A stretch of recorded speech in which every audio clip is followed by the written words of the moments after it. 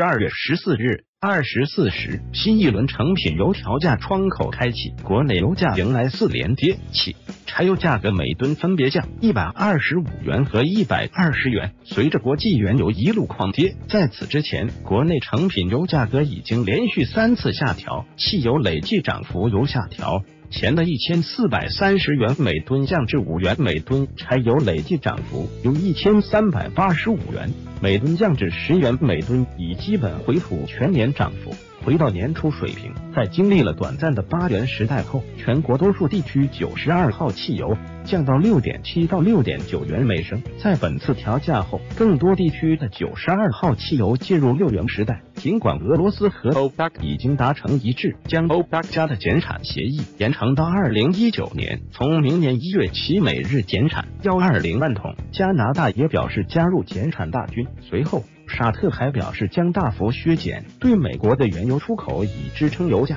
然而，全球原油需求的疲软以及市场对减产效果所持的怀疑态度，使得本轮成品油再次下调。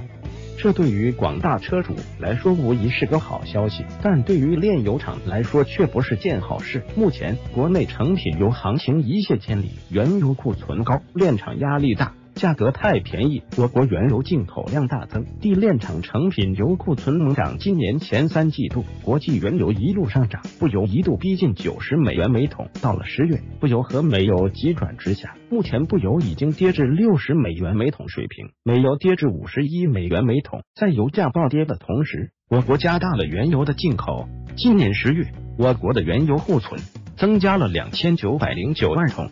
环比增长百分之四百一十六点七十一润的原油进口量也持续增长，库存量也持续激增，相对应的地方独立炼油厂也在大量买入原油。随着炼油能力的持续增加，地炼厂的炼油量也高于正常水平。除此之外，国内成品油销量放缓也是炼油厂库存保持高位的原因。今年前三个季度，我国汽车的产量和销量的增速。仅为百分之零点八和百分之一点五，加上以天然气和电能为代表的可替代能源的广泛应用，国内的汽柴油需求增速将进一步放缓，这使得炼厂库存压力明显。中海油惠州炼厂有意向出仓甩货，华东、华南部分中石化单位也已经暂停外采来消化库存。我国成品油供应过剩。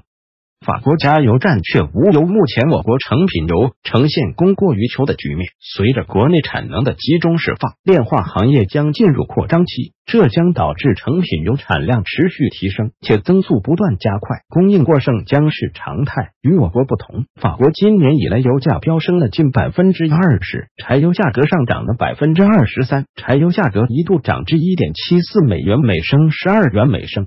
这是自二零零零年以来的最高价。此前，法国总统马克龙还打算继续增加燃油税，以履行巴黎气候协议，导致法国国内抗议活动四起，出现了六百多座加油站无油或部分缺油的情况。迫于无奈，马克龙宣布暂停加税，柴油价格才降至十一元左右水平。相比之下，我国六元每升的油价已经很良心了。大家觉得中国油价算便宜吗？关注金石数据头条号。